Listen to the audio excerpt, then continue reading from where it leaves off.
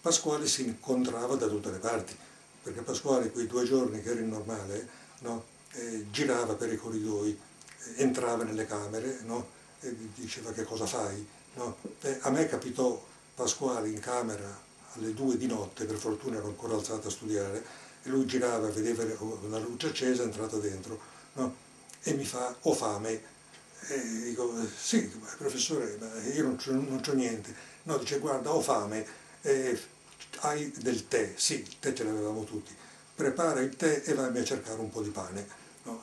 Io misi sul fornellino eh, l'acqua no? e mi misi a girare per la, per la scuola, andando nelle camere delle varie persone finché trovai quello che aveva un pezzo di pane e non lo portai a Pasquale, no, il quale si mangiò il pane e il tè, insomma non, non, non, non eh, Pasquale era così, insomma